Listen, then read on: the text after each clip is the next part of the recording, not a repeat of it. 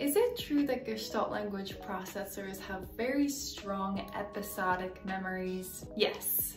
But what does that mean? Episodic memory is a type of long-term memory that involves the recollection of specific situations, experiences, and events. So the Gestalt language processor experiences something or consumes something through media and they are very good at being able to recall exactly what happened, exactly when, exactly how it was said, and how it made them feel. It enables the Gestalt language processor to mentally go back in time and relive those experiences. I think knowing this helps us better understand our Gestalt language processors. When they bring up some of their scripts, their delayed echolalia, their Gestalt phrases, they're trying to put two things that make sense to them together. And not